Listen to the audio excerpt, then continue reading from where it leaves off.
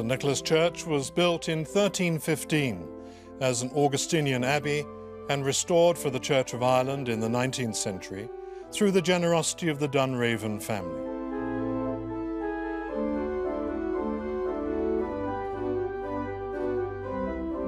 We celebrated our 700th anniversary in 2015 and are alongside St Nicholas National Primary School, which celebrated its 200th anniversary in 2014. The village of Adare, Uchtdara, meaning Ford of the Oak, is considered one of the prettiest in Ireland.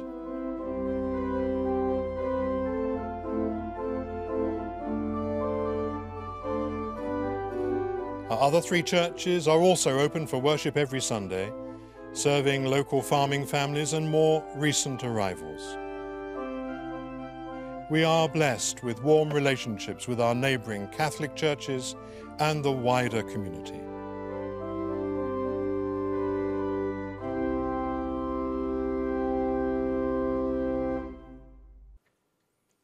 Welcome to this Sunday service with St Nicholas Church in Adare, County Limerick with the churches of Croom, Kilpeacon, and Kilmallock. Jesus and his disciples were men born into a time, a culture, a context very different from our own. When we hear his voice calling to us today, we need to remember both the man who was, as well as the figure of reverence and devotion he became to subsequent generations and the new perspectives of psychology, sociology, and science that we can bring to the Christian faith, looking through the lens of our own time. He journeys with us today, bringing his time, our time, and all time together as we face the questions, doubts, and concerns of faith today. And so we start our service. In the name of the Father, and of the Son, and of the Holy Spirit. Amen. Amen. You asked for faith and trust. We demanded proof and certainty. Lord, have mercy. Your love was stronger than death. We built tombs around our hearts. Christ, have mercy.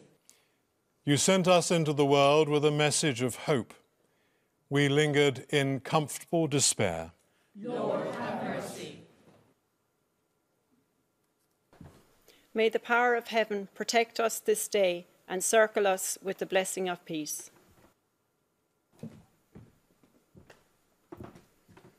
May Christ our Lord and loving friend protect us this day and circle us with love and affection.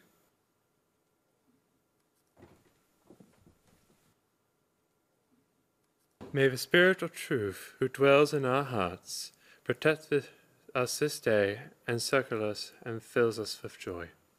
Amen.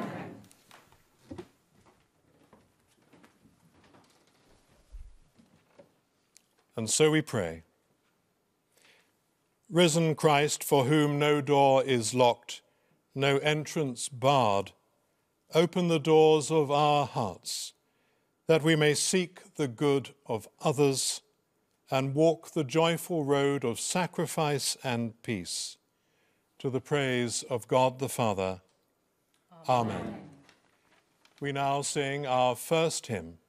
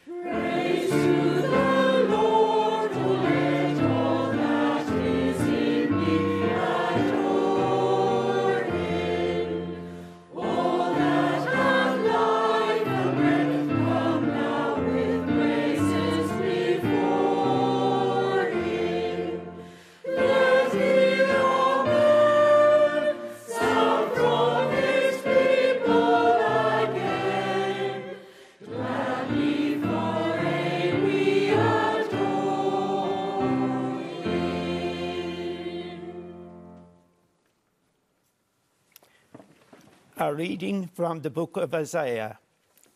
Open the gates so that the righteous nation that keeps faith may enter in. Those of steadfast mind you keep in peace, in peace because they trust in you. Trust in the Lord forever, for the Lord God you have an everlasting rock. For he has brought low the inhabitants of the height. The lofty city he lays down low.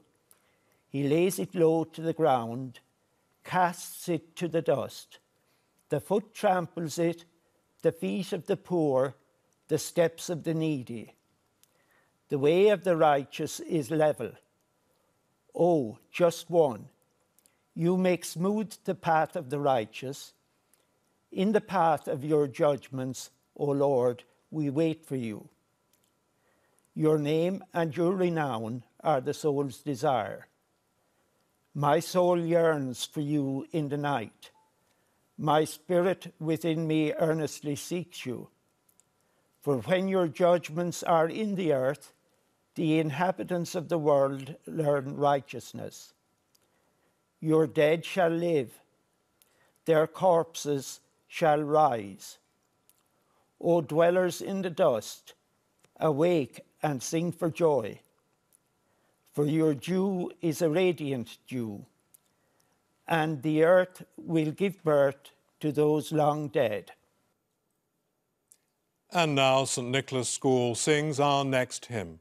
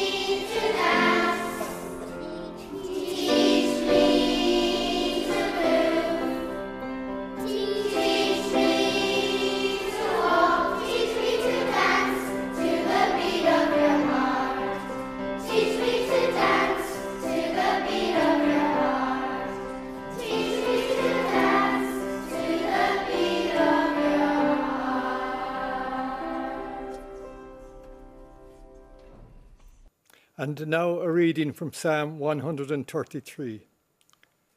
How very good and pleasant it is when kindred live together in unity. It is like the precious oil on the head running down upon the beard, on the beard of Aaron, running down over the collar of his robes. It is like the dew on Hermon, which falls on the mountains of Zion, for there the Lord ordained his blessings, life forevermore. A reading from the Acts of the Apostles. Now the whole group of those who believed were one of heart and soul, and no one claims private ownership of any possessions, but everything they owned was held in common. With great power, the apostles gave their testimony to the resurrection of the Lord Jesus, and grace of grace was upon them all. There was not a needy person among them, for as many as owned lands or houses sold them, and brought the proceeds of what was sold. They laid it at the apostles' feet, and it was distributed to each as they had need.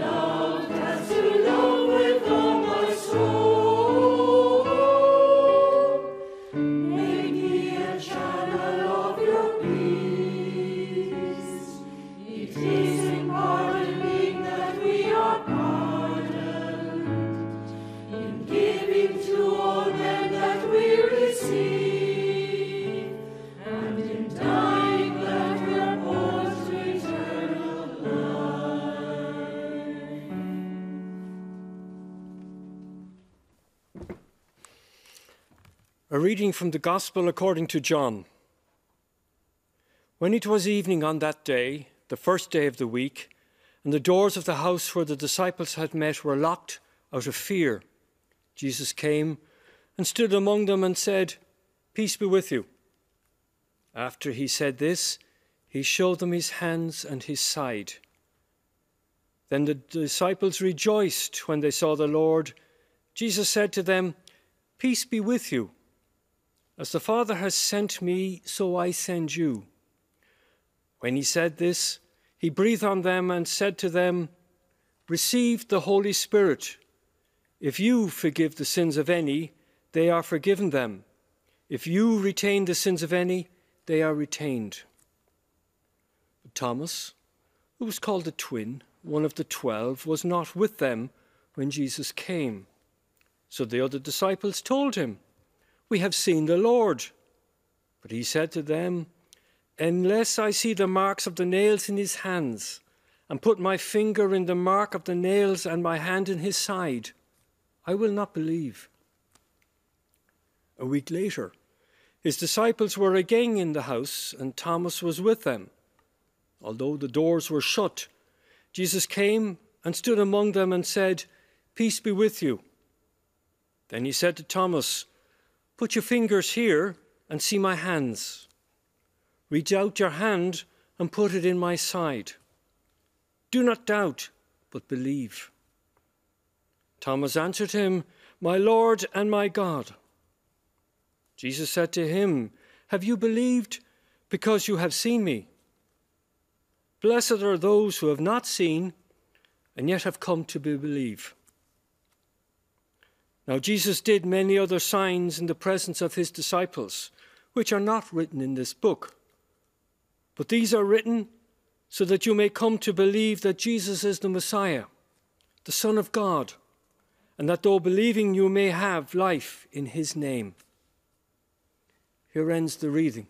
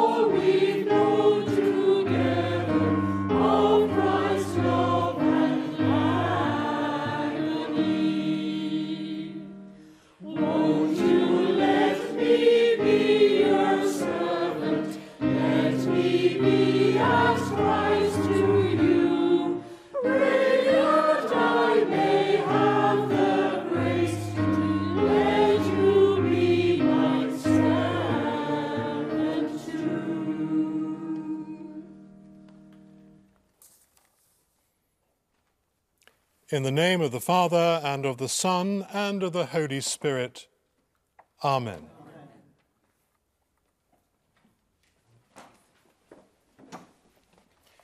Today's Gospel reading speaks of two major fallacies, two injustices, two wrongs that need to be set right. The first concerns the reputation of Thomas.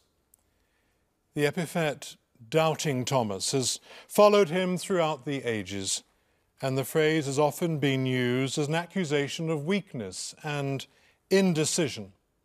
Yet his temporary doubt is only part of his story, probably the least important episode in a much longer story. We're all familiar with the expression, give a dog a bad name. It's a catchphrase meaning that once we have labeled someone once we have shrunk them down to a simplistic label, a summation of their fault, real or invented, then we can rob them of who they truly are. Once we label someone and that label sticks, it constrains them. It seems in our eyes to define them. We exercise power over them. They are who we say they are. But what do we really know about Thomas? True enough, we are told that he required proof that Jesus had risen. But then initially, so too did all the other apostles. Why is his reported skepticism any worse than that of his fellow disciples who disbelieved the women who returned from the empty tomb?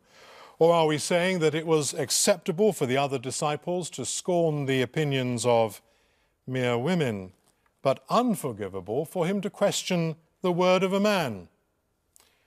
Whilst his alleged doubt was not the most enthusiastic or trusting response to his fellow disciples, it was an eminently human and honest reaction to such extraordinary news. After all, which one of them had believed Mary Magdalene when she returned to them from the empty grave, exclaiming, I have seen the Lord? We also need to remember that the Gospels all treat the resurrection differently.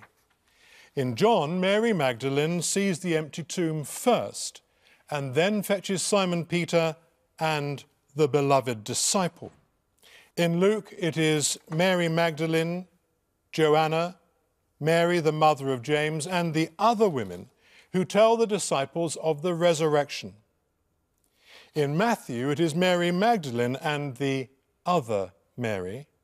And in Mark, they are accompanied by Salome, not the naughty one.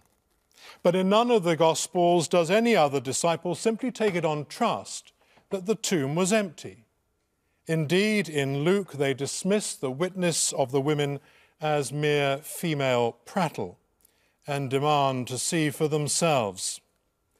Well, the obvious sexism aside for a moment, in reality, why wouldn't they want to see for themselves?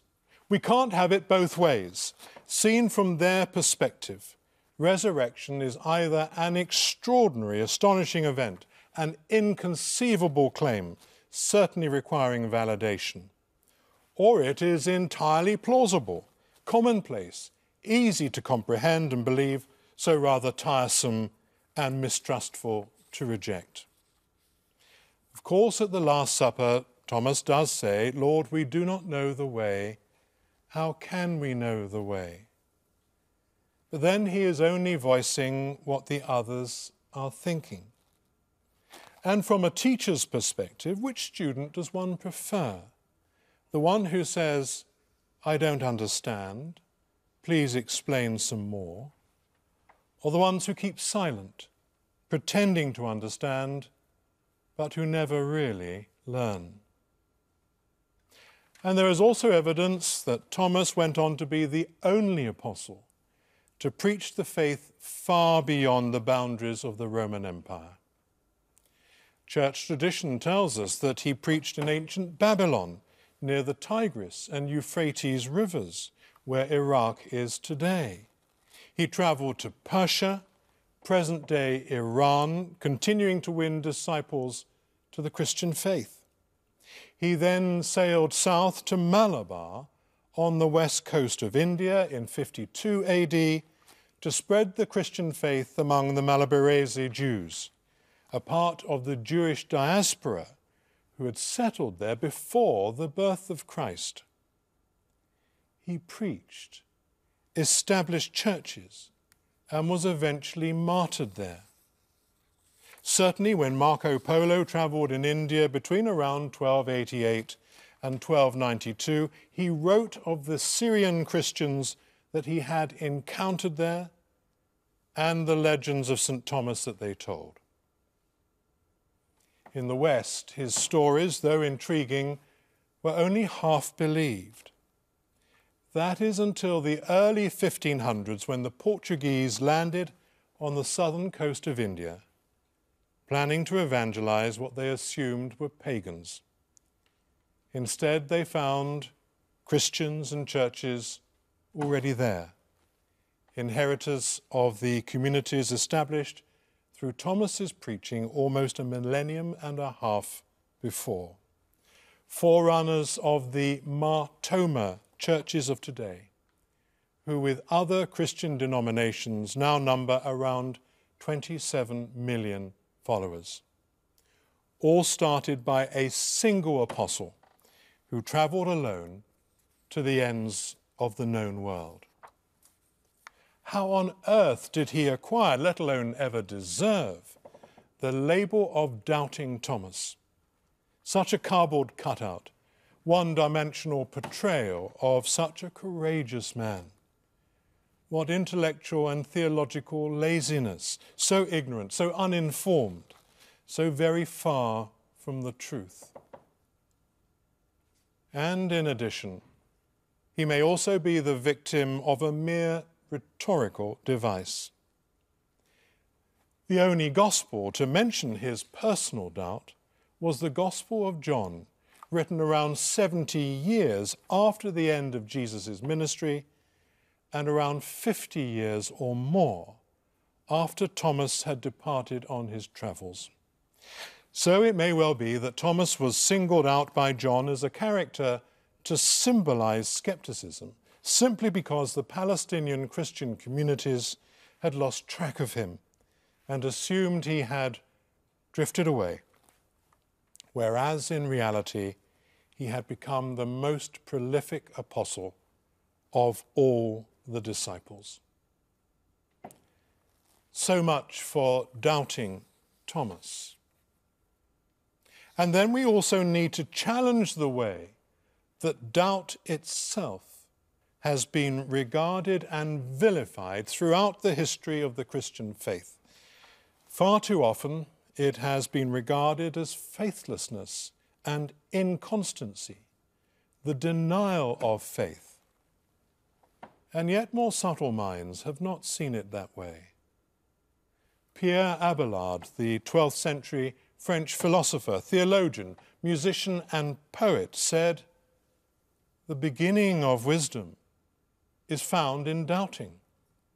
By doubting, we come to the question, and by seeking, we may come upon the truth. St. Augustine said, Doubt is but another element of faith. Tennyson, in his poem In Memoriam, mused, There lives more faith in honest doubt, believe me, than in half the creeds. And according to John A. Hutchinson, the 18th century theologian and natural philosopher, unthinking faith is a curious offering to be made to the Creator of the human mind. It was Socrates who said that the unexamined life is not worth living. I would go on to wonder whether the unexamined faith is worth the possessing. For we should see faith as a journey rather than a destination. And so we should regard our questioning as a spur to that journey rather than a roadblock. Indeed, to deny our questions is to cut off our faith from the very oxygen of learning, change, and growth. It is our doubts and questions, asked with integrity and courage, that can act as the so necessary corrective, as the crucible in which our beliefs are tested and proven. Doubt not only sharpens and disciplines our faith, but it also enhances its value.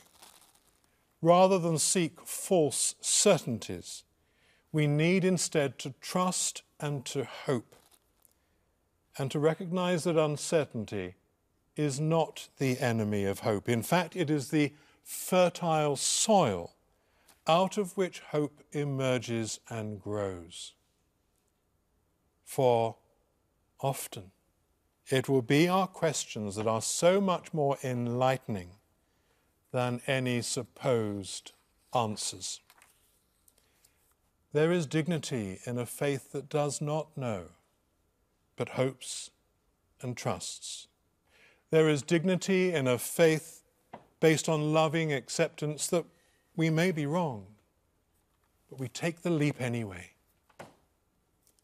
There is courage in witnessing to a truth in which one believes, rather than a mere fact that one knows.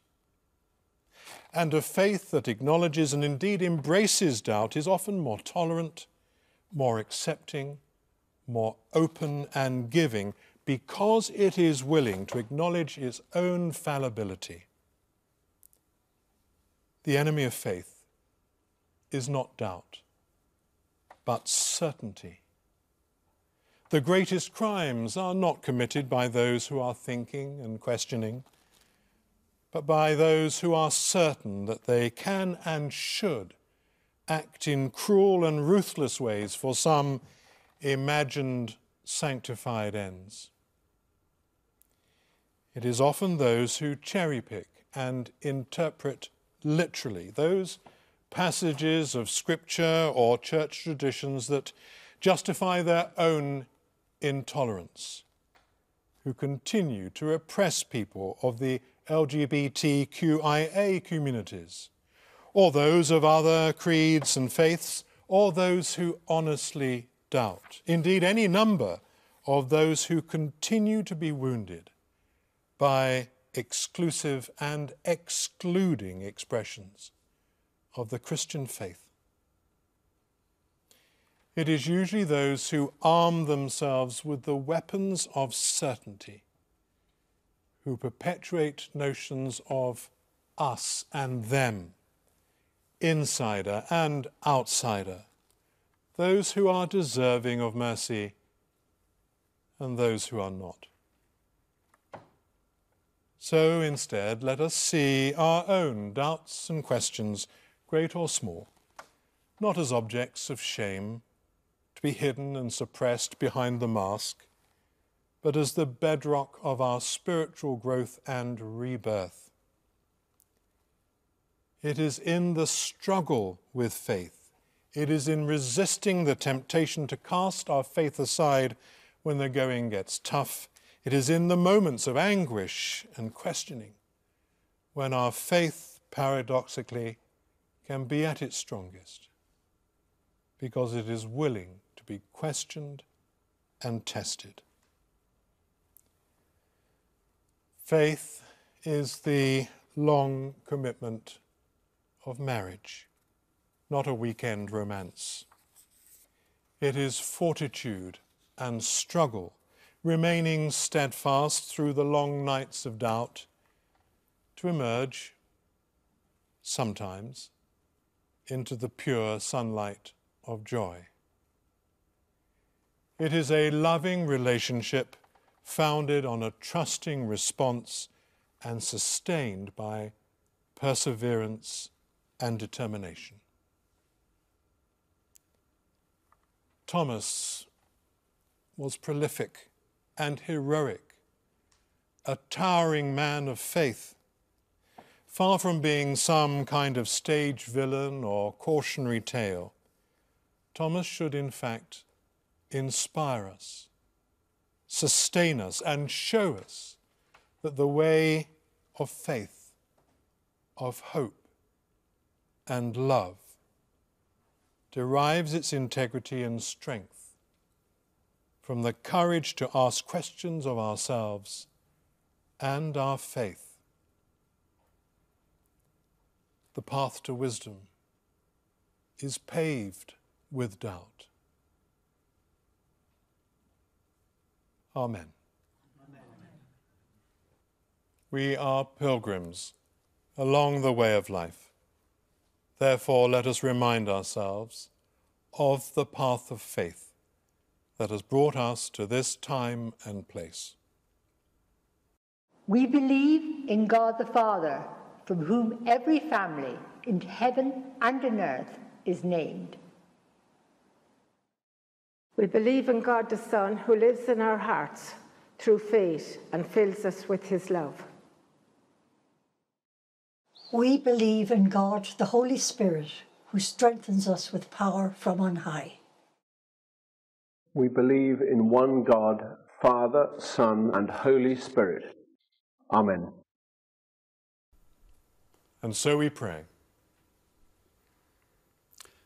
At this time of Easter, we celebrate the triumph of life over death, of love over hate, of peace over violence, and of forgiveness over condemnation.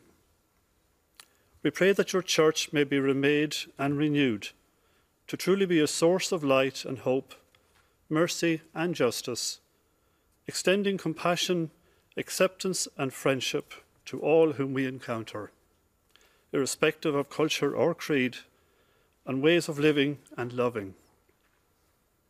May the doors of our hearts and minds be ever open, welcoming, and sharing. May we also seek to practice the virtues that we preach and profess. Christ be within us.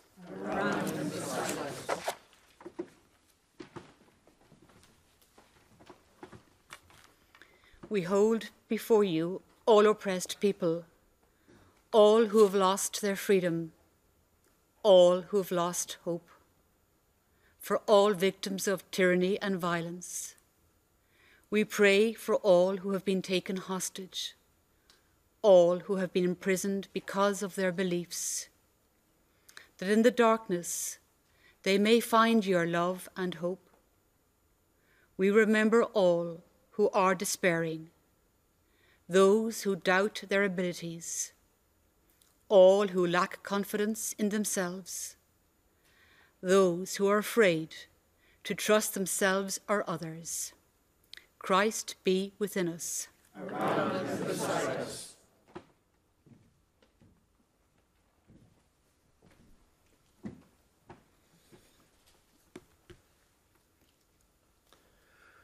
We pray for the communities to which we belong and in which we are called to be active and compassionate.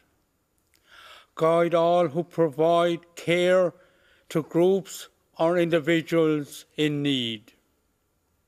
We hold before you all who seek to bring food to the hungry and comfort to the lonely.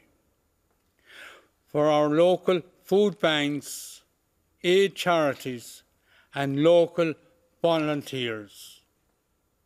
We hold before you those who care for the sick in mind, body, or spirit. May ever we strive to be sources of comfort and loving assistance. Christ be within us.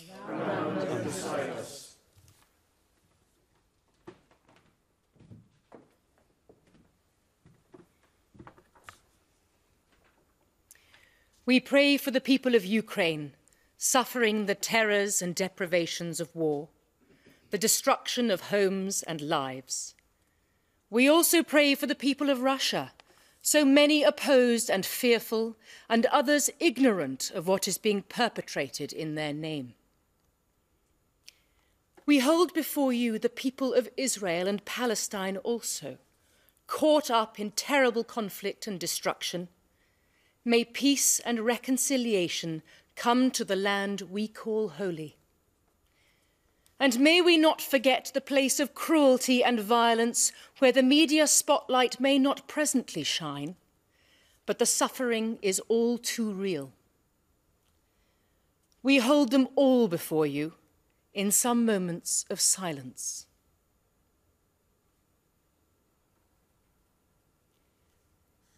Christ be within us.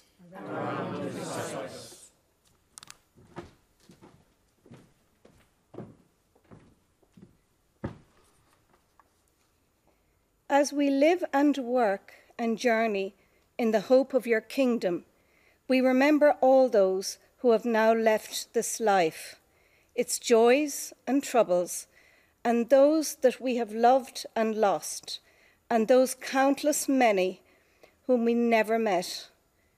May they now know the peace and contentment of your near embrace, the light that banishes all darkness the glow that warms all hearts. Christ be within us. Around and beside us. Together, we say the Lord's Prayer. Our Father, who art in heaven, hallowed be thy name. Thy kingdom come. Thy will be done. on earth as it is in heaven. give us this day our daily bread. And forgive us our trespasses. As we forgive those who trespass against us. And lead us not into temptation, but deliver us from evil. For thine is the kingdom, the power, and the glory. Forever and ever. Amen. May the living God remove the suffocating shroud that lies upon our world. May the risen Saviour draw the sting of death, bringing all to life in him. May the flowing Spirit set us and all creation free, and seal our hearts with faith and love and the blessing of the blessed three in one be with you and remain with you always. Amen. Amen. Let us go in the peace of Christ. Thanks be to God. E Christum